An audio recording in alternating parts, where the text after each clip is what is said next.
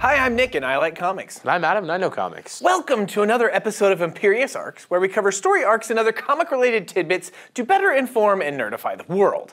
Today, we are starting a new series of episodes and looking at continuity inconsistencies, or things that simply don't make sense in both the DC and Marvel universes.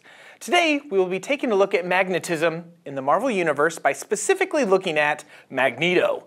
It seems that for the better part of 50 years, whenever Magneto is around, he's able to do stuff that normal magnets just can't do. For instance, in Uncanny X-Men 112, Magneto is fighting the X-Men. As he often does. Right.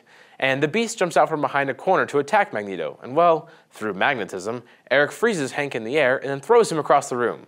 Beast is his normal blue furry self. So in the Marvel Universe, magnetism means that you can manipulate organic matter. Hey, Adam. What? You know what happens to a toad when it gets struck by lightning? No, no. What do you mean, no? You, you don't know? Are you stupid? I, I'm not going to finish that line. No. Well, for those of you that might not know, it's the same thing that happens to everything else. For the love of God. Unless you are a Magneto in the Marvel Universe. In Uncanny X Men number 150, Storm fries the master of magnetism with a bolt of lightning, and then he takes the lightning and throws it back at her. Like the Emperor? Yes, exactly like the Emperor. So, in the Marvel Universe, magnetism means that you have the power of Thor. Magneto has also used his magnetism powers to manipulate a lot of organic and non organic things, like iron in the blood, atoms, heat, light, and even people. He has also used his powers to fly in space, sense objects he cannot see, repel Thor's hammer, manipulate the Phoenix Force, and even teleport. It seems that in the Marvel Universe, magnetism equals whatever the writers feel like they want to help move the story along. Adam, Nick, would you believe me if I told you that almost everything Magneto has ever done in comics is theoretically possible? S- Scott, how did you get into our video? Magnetism. What?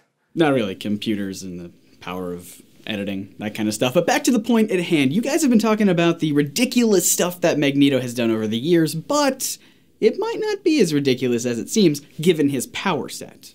Okay. A theory in physics states that all of the interactions in the universe can be categorized into four fundamental forces. Gravity, for example, is a fundamental force that you may have heard of. The other three are a bit trickier to explain since they tie into quantum mechanics instead of classical mechanics. So, for the sake of this argument, we're going to skip over two of them strong nuclear force and weak nuclear force and just focus on the last one electromagnetism.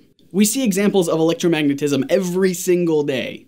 Literally, the visible light that our eyes can detect is on the electromagnetic spectrum, and as important as that is, it has an even more crucial job. Electromagnetism holds the entire universe together. If you break down the name electromagnetism, it's both electricity and magnetism.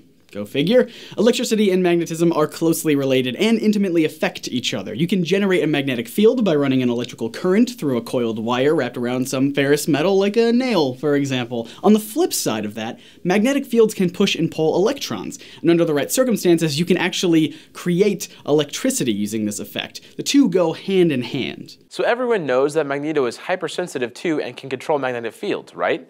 Are you theorizing that Erik can not only control magnetic fields, but he can generate and control electricity with great detail because the two are so connected? Precisely. So, for instance, in Uncanny X Men number 150, when Storm tries to fry Magneto with a lightning bolt, it actually makes him stronger because he's able to channel that electrical current into producing a stronger magnetic field. Okay, I'm no PhD, and while I fully don't grasp and understand what you are saying, I can see that you're making a little bit of sense. I can get on board with Magneto having the ability to manipulate electricity. But in Uncanny X-Men number 112, he literally controlled Beast and threw him across the room using magnetism. Beast is made up of organic matter. There's no way that is theoretically possible. Right? Well, let's take a look at that. Your first thought might be that Magneto simply manipulated the iron in Beast's blood. He did a similar thing in the second X Men movie to escape from his jail cell. But, as instinctively sound as that explanation might seem, it's not very likely. Yes, our blood does contain a little bit of iron, which is magnetic or ferrous. In fact, the word ferrous is derived from the Latin for made from iron and is why the atomic symbol for iron is Fe for ferrum. I feel like I'm losing people. Let's just get back on track. So, yes, we have iron in our blood. However, at any given time, only a fraction of that iron can actually be influenced by a magnetic field. Why? Because it's doing its job. The iron in our blood helps make up hemoglobin, which carries oxygen through our bodies. When the iron bonds with the oxygen, it effectively rusts. It's why our blood is red. And the side effect of that bonding of the oxygen and iron molecules is that it cancels out the iron's magnetic field. So that seems like an unlikely explanation for how Magneto would control Beast. Now, to find our answer, we need to look somewhere smaller. Did you know that protons, neutrons, and electrons have magnetic fields that interact with one another, and that's how atoms stick together? While the degree of power of an atom's magnetic field is way smaller than something like Earth's magnetic field, with their forces combined, they are powerful enough to overcome gravity. You see, the ground we're standing on might seem solid, but it's actually mostly empty. It's been said that over 99% of an atom is just empty space. The reason we're able to stand firmly on it is because these tiny magnetic fields in the atoms on our feet are repelling the tiny magnetic fields on the atoms on the floor. Without those magnetic fields, we would fall straight through. So you're saying that without magnetic fields, we would be able to phase through objects like Kitty Pryde?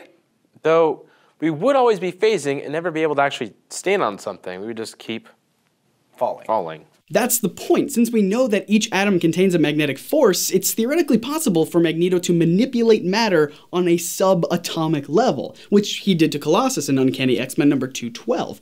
Erik draws strength from the Earth's magnetic field so that he can make out the shape and structure of every molecule in Colossus's body and restore Peter to normal.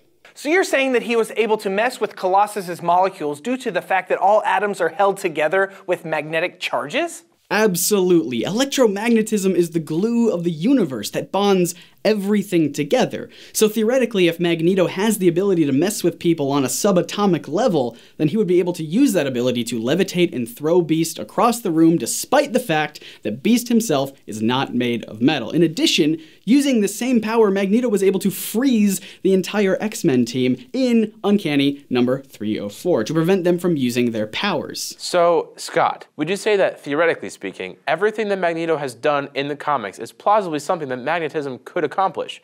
This stuff, while super far fetched, is actually based on real science? Well, I'm definitely no expert myself, but it seems very likely that Magneto is much more than the master of magnetism. With his incredible control over atoms themselves, he should really be called the master of the universe, if that title wasn't already taken.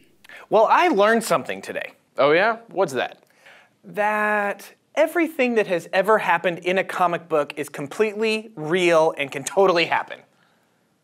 I really, I, I don't think that's what Scott was saying. Hey, Scott, thanks so much for interrupting our show and dropping some knowledge. Why don't you let people know a little bit about your show and where they can find you? Anytime. I love digging into comics and seeing what fun and interesting information we can learn. I have a whole channel called NerdSync that's dedicated to exploring the science, history, and philosophy behind the amazing world of superheroes. And if you liked this video, you might like the one I did explaining how Daredevil can see. It's got the phrase cross-modal neuroplasticity in it, and if that doesn't pique your interest, I don't know what will. So, what do you think? Is this Magneto stuff interesting and plausible, or do you think it's stupid and way too far fetched to even consider to be real? Let us know in the comments below. And don't forget to follow us on Facebook, Instagram, and Twitter to keep up to date with our nerdy adventures. Thanks again to Scott from NerdSync for joining us on this special episode today. And until next time, I will be trying to find a massive magnet so that I can throw Adam across the room. Like Magneto did with Beast, just magnets. Science!